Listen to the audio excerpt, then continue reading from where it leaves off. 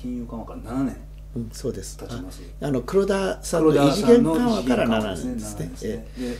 あのまあ、それをどう評価するかってことなんですけど、そのまず目標はその全く達しあのデフレから脱却してってことで、まあ、き物価目標 2%2 年でっていうのが一度も達成してませんし、それからじゃあ日本経済が元気になったかっていうと決してそうは見えない、うん。緩やかに回復とかっていう言葉はありますけども、あと戦後最長とかありますけど、それから株が上がってるっていうのはあるんですけど、先生この黒田あのまずかどう評価されますか？えーとそうですね。はい。とは言ってもみんなが何らかの錯覚を持ってあの現金を大いに出すぞって言ったら景気が良くなるんじゃないかという仮説のもとに動いてみたと。えで結果は、えっと多分マーケットの方が黒田さんより賢かったっていうことだと思うんですよ。だからそれで裏切られたというだけの話で、えっと大きな問題がコロナウイルスよってもたらされちゃったんで結果としては、えっと別に悪いことしたわけにもならないと、うん。いいこともしなかったけどねっていう評価で。うん。しか現状ではないですねと。今の今の黒田さんのやり方だとその組み戻すことができない。ササルベージすることができないマネー散歩をしちゃってるけれどもそれをそのちょっと仕組みを変えればサルベージできるようなマネードロップマネードロップって言うんですけどねやはりこれマネーのこと。マネードロップに変えることは可能だということを繰り返してでこの2年ぐらい主張してるんですけれども。ただ今あんまり主張する気がしなくなっちゃったんですよ。っていうのは世界中同じになっちゃったのでその金融政策っていうのは長期的な均衡を変えられないんですよ、えだから国をもっと豊かに成長させるための金融政策っていうのは間違いなんです。金融政策っていうのは成長のエンジンとか成長のポテンシャルっていうのはもっと別のものから生まれてくるんでただえーっと加熱しすぎたら抑える。そこよりも下に行くようだったらもう少し将来の、えーまあ、いわば豊かさを持ってくるような、要はそのゴーストップというかアクセルを踏んだりブレーキを踏んだりなんですけどそのエンジンは金融政策ではないんですね。ええそうですね。エンジンですね、うん。なんだけどそのそれを考えないでえともかくアクセルを踏み続けたはいら走るかっていうとそうはいかないと。走るのは普通の速度でしかやっぱ走らないです。えそれはまあある意味実証見事に実証してくれたあの実証しちゃったですね。あの逆にその成功したら何が起こったかっていうとかえって怖かったかもしれないですね。金融政策でなんあの人々の心が変わっちゃったらあ何が起こったかっていうと例えば土地の価格なんていうのが異様なほど上がってしまうとかそういうことが起こったかもしれないわけで、えー、とおみこしを担いでる人にうちわで風を送ってるようなことしか金融政策ってできない。ええ。金融政策が経済を担いでるっていう気持ちは思い上がりだし危険だからやめた方がいい。ええ。っていうことですね19世紀の後半から20世紀ほぼフルですね。だって世界は稀に見る経済成長の時代だった。とで経済成長をもたらしたのは、えっと、財産権とか自由とかいう制制度的なものもあるしそれから何よりも技術進歩が大きかったと思うんですがそれの中で今の国民国家とか民主主義とか、はい。社株式会社制度そして中央銀行制度っていうのはようやく持つものだったんですがそれが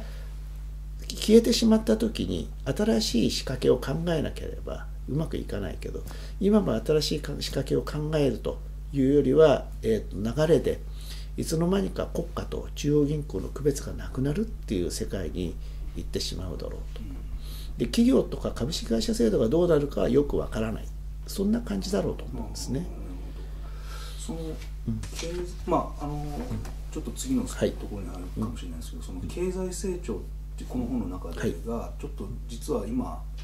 ずっと続くものだとみんな思ってるかもしれないけどそうじゃなくて。私は続くものだと思ってないです。ね。でその中で黒田日銀もそうですけどもその前日本でいうともう二十何年前ですかね、緩和をずっとしてますしそれから世界もそうなんですよ。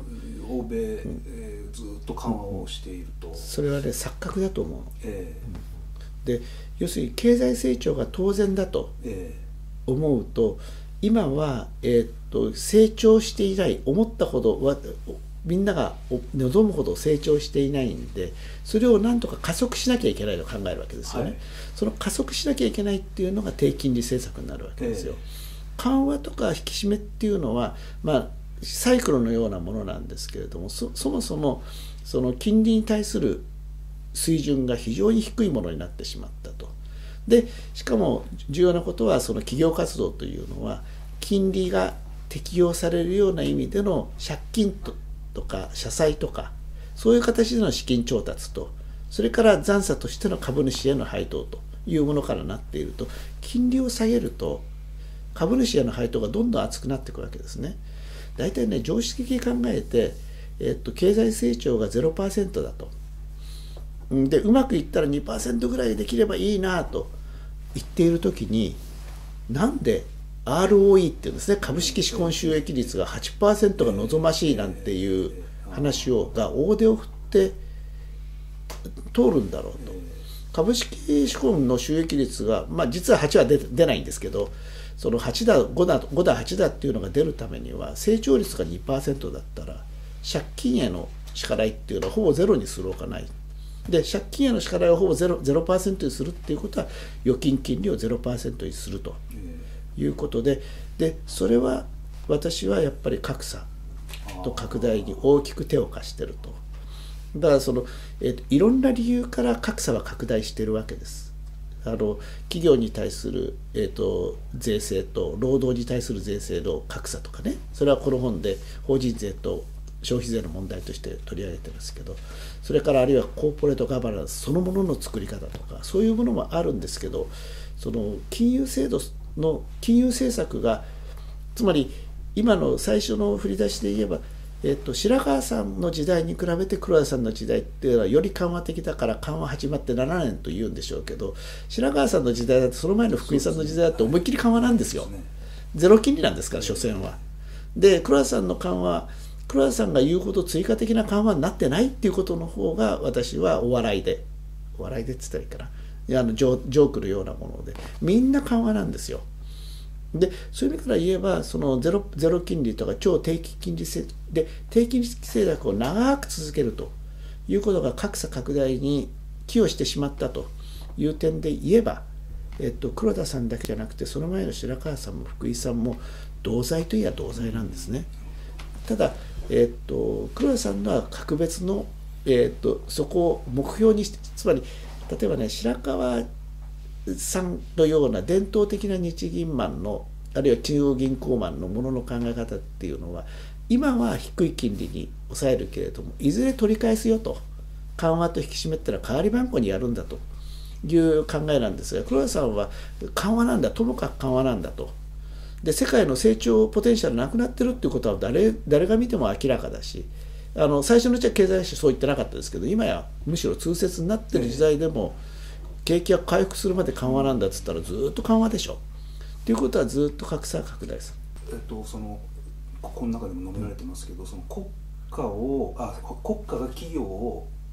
呼び込む競争をしている、ね、はいそうですね。ええ、それこれはもうグローバル時代そのモノサービスだけじゃなくて、しあらゆる面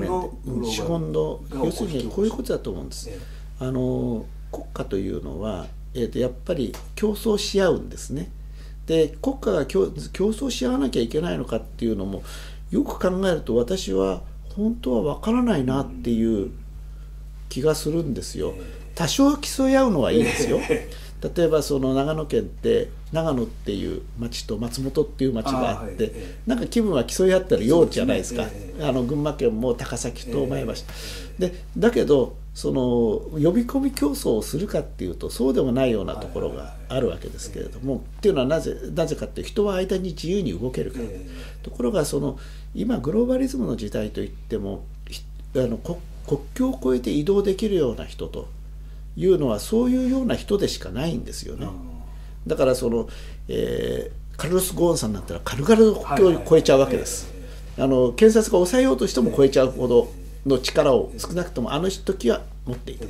今でも日本でもそのねあの名前出しちゃ悪いけどなんとかファンドをやってる人なんていうのはシンガポール行っちゃったりするわけででそのそういう人たちと私たちっていうのは簡単には超えられないであるいは国境を越えるとしたらえーと、もしかするとかなりえっ、ー、と何て言うのかな悲惨な扱いを覚悟しなければいけない。日本だってそうですよね。例えばその私たちが外国人労働力を入れようって言ってる時は花から労働力って言ってるじゃないですか、しかも割と単純な労働をぜひえーとね。アジアの人にやっても、ええ。最初からそう思ってるわけですよ、え。でそういう人たちっていうのはその前提で来ちゃうから日本のそれ彼らと、まあ、似たような状況にある人たちの収入の足を引っ張りますし。で彼ら自体もとても悲惨な状態に収まる。今回なんか特にそうですね。でそういう形で人は動かない。あのいや人は金持ちは動ける。富者は動ける。リッチは動ける。ザ・プアは動かない。えそうするとなんとかザ・リッチをえ優遇しようと。えする競争が起こるわけででその結果例えば所得税なんていうのを見ると最高税率どんどんどんどん下がってる。でその、まあ、所得税ってすごく複雑な構造を持ってるんで何とも言えないけどただ本でも数数字を出しているようにあれだけ激しく最高税率が下がっていてしかし国の財政力収財政っていうのはあんまり変わってないですよ。えもともとたくさんいらした中間層という人たちの背負うものがどんどん重くなってる。でそれがその中間層の怒りとえいうのと彼らの崩壊をあのもたらしてる、え中間層がまだ存在している国だと怒りをもたらすと。その日本でもそうですけど進んでいる傾向というのは法人税を下げようとええ。どんどん下げようとするんですよ。かつてその例えば全盛期のドイツなんていうのの法人税は55%ぐらいあるんですよそれが今やどんどんどんどん下がってきて20%台に落ちちゃうわけですね。でそこまで法人税を下げてきてでその減収分を何で補うかっていうとその消費税うん。付加価値税で補う、っていうことはどういうことを言ってるかっていうとその株主に対してもともと法人税っていうのは株主が取得するき分け前に対して課すものだったんだ。それをどんどんどんどん減税してきて、え。で消費税っていうのは、えー、と何かっていうと労働税なんですよね、はいはいはい。労働税を組み合わせたものなの労働税をどんどんどんどん加重しているのと同じで、うん。そうするとね何が起こるかって企業が合理的な経営者だったらできる限り資本設備を増強して労働者に賃金を払うのをやめるのが合理的な行動なんですよね。物を作るのに機械をたくさん使う方法とそうでない方法があったら機械をたくさん使えばのと,、えー、と人人手に動いてもらうのと人手に動いてもらう方が税負担高くなるから、そうするとそのいそういうその税制の構造によっても格差っていうのは拡大させられちゃうんですね。低金利の面でも、それから今のこの税制の面でもそれはあの好むと好まざるに関わらずなのかもしれないですけど、グローバル化の中で、もう先ほどもちょっと戻りますけど中間層のところですね、うん。ここはもううん極めて弱く、そう弱痛められて痛めつけられていて、えで彼らの意識が彼ら私も中間層ですから私たちの意識が あの、えー、とバラバラの方向を向き始めてると。でその意味ではまあこれがいいいい例えかどうかは悪いから喧嘩と反日のなんていうのもあれ、喧嘩ですね、うん、それから反日ですね。え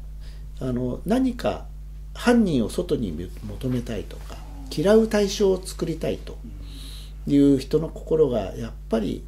影響しているような気がするんですよ。でそういうサイクルっていうのはヨーロッパでは例えば反ムスリムとかそういう形で生まれるわけですから、えっと、とても怖い時代に入りつつあるしでそれがさらに加速されそうな気がするただ一方でそのコロナウイルスのおかげでおかげでっていうのはなんだけどグローバリズムがにブレーキがかかりつつあるところがあるんでこの1年っていうのはいろんな動きが出てきうると思いますね。結局その中間層っていうのは2つの可能性を持っていて、えまあ、自分たちが国を担って指導していくんだっていう気持ちになるとむしろその私たちを軸にして、えー、と不者は不者なりに参加してくれと。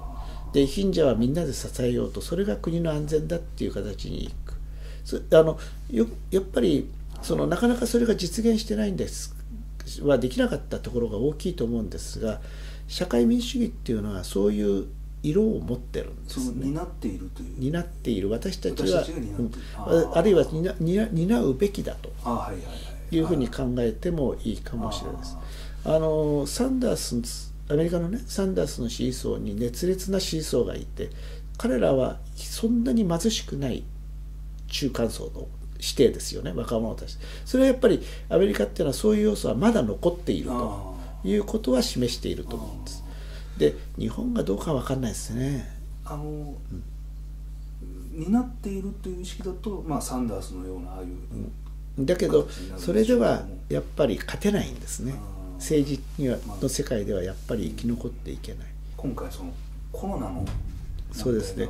あのまあコロナのグローバル化にええ。一旦、えー、とそれはストップはかかると思いますしえっとかかるでしょうね。それからもう一つコロナの問題が大きく提起しているのは、えっと西欧型というんでしょうかね。ヨーロッパとそれから北米型経済政策体制とか政治体制っていうものと、えーまあ中国型と言うでしょうか、ええ。の政治体制の間の引っ張り合いが、えっと、なんていうのシーソーが大きく、えー中国側の方に傾いてくると思うんですよ。あ自由っていうものに対する私たちの気分のなんていうかな、えーいの劣化があったと思うんです。19世紀ってやっぱり非常に現在これからげ今が始まるんですね。でただその時の自由っていうのは何よりも自由っていうのはその血と汗で守るものだったんですね。あの大体そのアメリカの国家とかフランスのラマルセイユなんて大体そういうこと言ってるんですよね。なんとかみんな犠牲を払って我が国の自由を守れってラマルセイユに行けって言ったり正常期をともかく守れとこういうこれがね自由の姿だったし日本でもそのそういう気分は、えっと、あんまり自由主義者じゃないなっていう人ですらうん共有してたと思うんですよ。僕はねあのその頃の明治の時代の自由っていうものを見る人たちの気分を表すある表す名言として、まあ、中谷町民とかそういう人を出すよりはい一番面白いのは板垣退助っていう人板垣退助っていうのはあの戊辰戦争の官軍の司令官ですよね。で軍人でま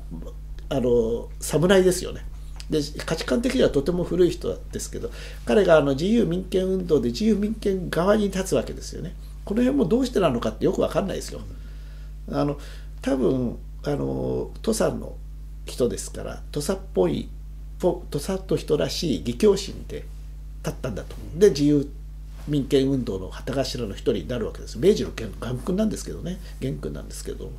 でその途中で暴漢に襲われて刺された時に亡くならなかったんですけど、板垣シストも自由は知らずって言うんですよ。それが自由だったんですよ、だけれどもその新自由主義だからサッチャリズムとかレーガンというところで出てきた自由っていうのは今の日本も、えー、と自由経済ってのはそう思ってる人の方がずっと多いと思うんですが自由経済で国が発展するんだと国を発展させるための自由なんだというふうに考えだから自由っていうのは血と汗で守る苦しいものから儲けるための道具になっちゃったんですね。という観点で言うと今その私たちが守っている持っているはずの自由というものがとても危ういものになってしまっていると。でしかもその、えー例えば今回の感染症みたいなものが出てきた時には、えっと、どうも自由というものは制限した方がいいようだという気分は世界中に応一している。まあえっとあれだけその自由の国だったはずのフランスやドイツだってフランスでですら外出禁止令ですからいずれにしてもその自由を制限してでも命を守りたいと考えるか命の危険を冒しても、えっと、自由のあるいは感染した人の人権は守られるべきだと考えるかっていうのは、えっと、多分自由とか人権というものについての私たちの根性の座り方が試されてると。で僕だってそんなに簡単な気持ちではいられないけれどもでもやはり、えっと、ここで、えっと、譲ってしまったらおしまいだろうなっていう気はするんですね。